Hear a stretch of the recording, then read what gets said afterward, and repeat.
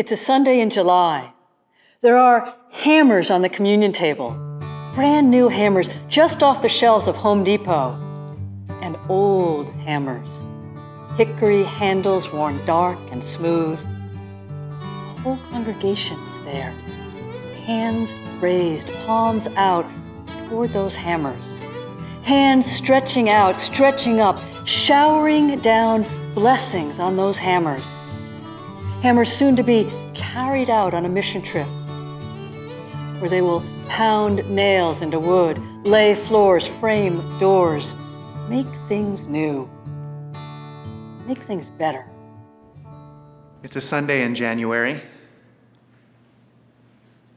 Two days earlier, an airstrike in the Gaza Strip killed 19 people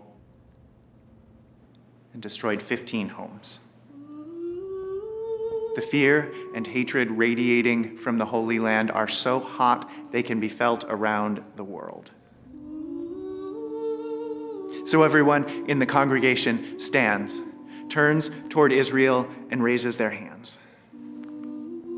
Our arms and our hands become a forest, stretching out, stretching up, showering down blessing onto that land of so much strife, so much blood on that land so beautiful, so contested, so ancient, so holy. Together we pray.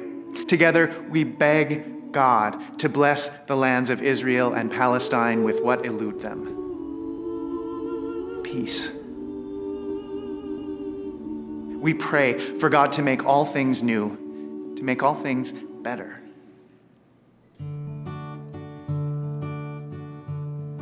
It's a Sunday in September. The children have all brought their backpacks to church. They are so excited.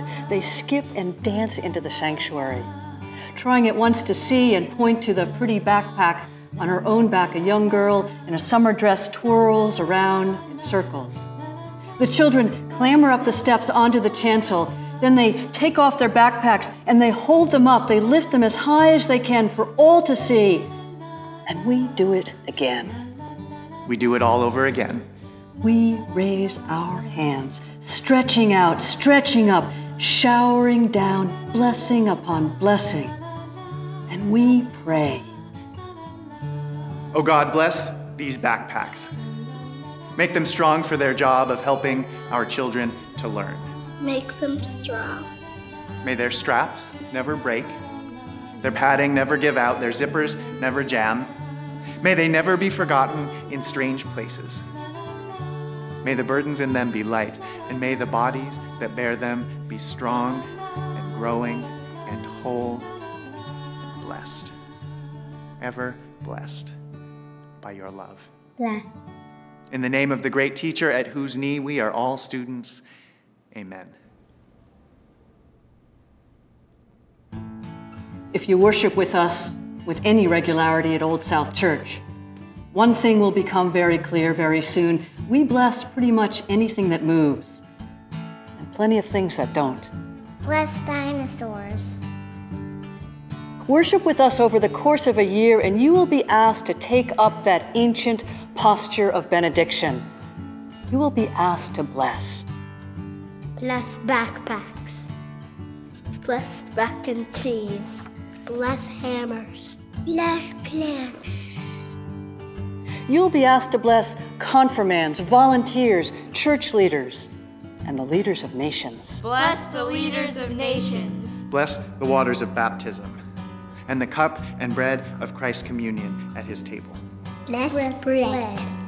You'll be asked to bless friends and enemies new homes and new relationships, canned goods, casseroles, and prayer shawls. You'll be asked to bless ripe tomatoes warmed by the sun in our own urban churchyard garden as we send them out on their way to feed the most vulnerable women in Boston. Worship with us, and we'll ask you to turn towards, towards, not away from, airstrikes and earthquakes, and national elections together because there is strength in numbers. There's strength in numbers. We will stand in silence, each of us praying his or her own unspoken prayers, our blessings crossing and crisscrossing each other, winging their way across the Atlantic, across the Pacific, to hot tempers in Washington, D.C., and to the hot sands of Iraq. Jesus did it as much and often as he could. He blessed the bread and the cup. He blessed children. He blessed the poor, the hungry, the meek, the merciful, the pure in heart, the ones who mourn, the persecuted, the peacemakers. He blessed his disciples and he instructed them. He instructed us. You go out there and bless others. Bless animals. Bless friends. But he also warned us be careful what you bless, for a blessing is a bond. It's a promise and a covenant, a sending and a sign. Don't you think, don't ever think a blessing is just words. A blessing is different. It's a peace making, earth shaking, dead waking, light creating, dark abating act that we're talking about here. Did you really think you could lift up your hands, extend your arms, and call down that power and not be changed? Did you really think that you could channel that in blessing and not be chained forever to the thing you blessed? What would ever make you think that God would bless at your command and not use you to fulfill your own demand? So be careful what you bless for, and don't you think, don't ever think that you can bless and leave. Your blessing is your covenant, your sending, sign, and bond. When you lift up your hands, when you extend your arms, stretching up as if in this blessing earth and heaven at last were one, when you call down that peace making, earth shaking, dead waking, light creating, dark abating, source of all that loves and lives, power of God, you can be sure that you will be a part of God's plan.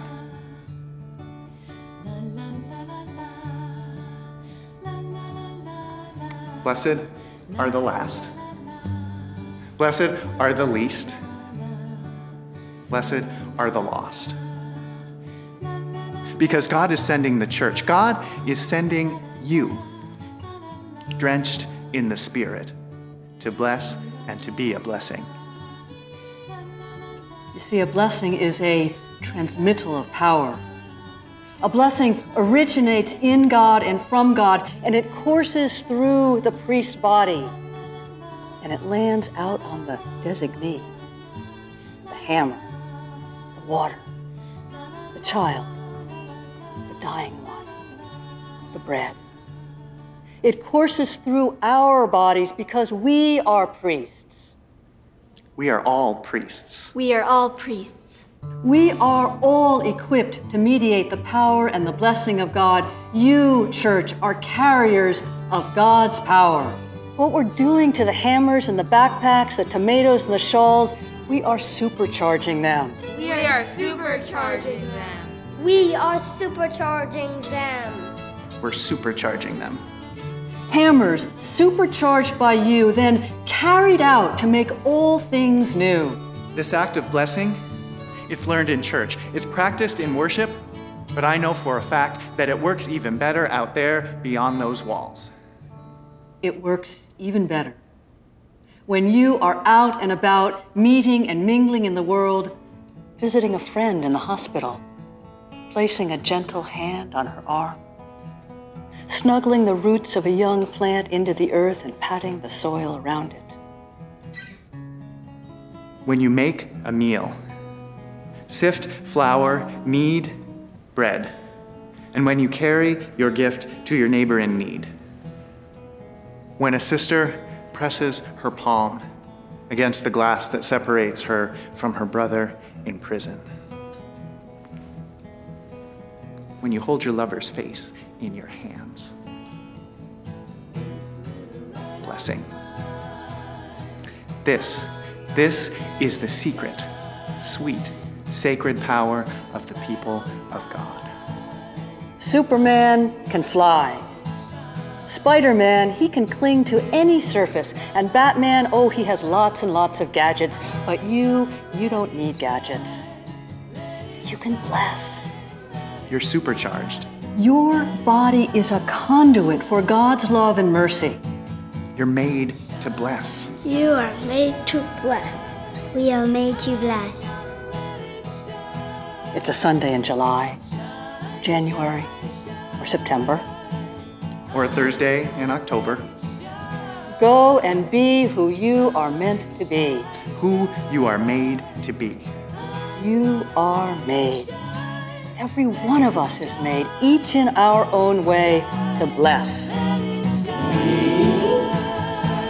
Bless.